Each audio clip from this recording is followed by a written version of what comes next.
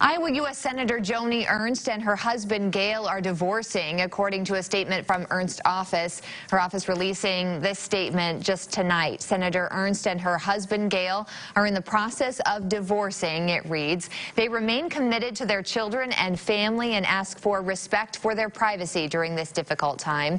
Joni and Gail Ernst have been married since 1992. He is originally from Sioux City and still has family in the area. Ernst was first elected to the U.S. Senate in 2014.